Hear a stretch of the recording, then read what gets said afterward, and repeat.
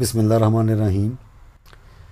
یہ فلیطہ خاص طور سے جادو، ٹونا، سایہ، جنات، بھوت، پریت اور اس سے تعلق رکھنے والی دیگر مخلوقات کا خاتمہ کرنے اور جادو کی واپسی کے لیے یہ ہے۔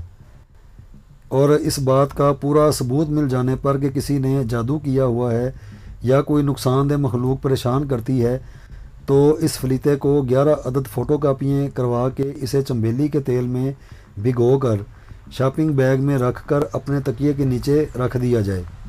اور ایک عدد کورا چراغ ویسے ہی لا کر وہ بھی اپنے سرہانے رکھ دیا جائے۔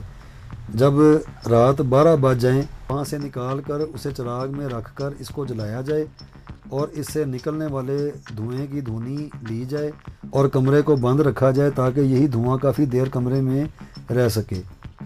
اس عمل کو مسلسل کرنے سے اس کے کئی قسم کے فائدے حاصل ہوں گے۔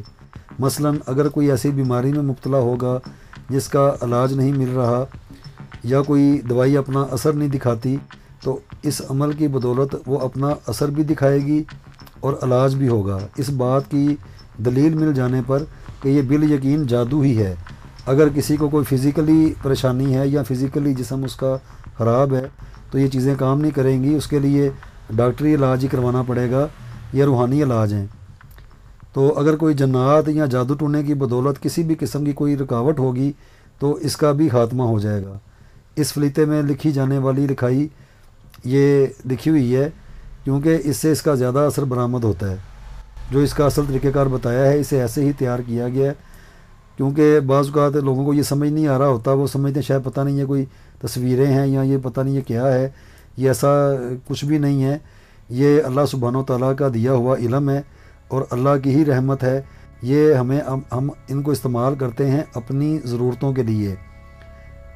جیسے ان دیکھی مصیبتوں میں ہم ان کا شکار ہو جاتے ہیں، جو آنکھوں سے نظر تو نہیں آتی، تو اللہ سبحانہ و تعالیٰ نے ہمیں عقل بھی دی ہوئی ہے۔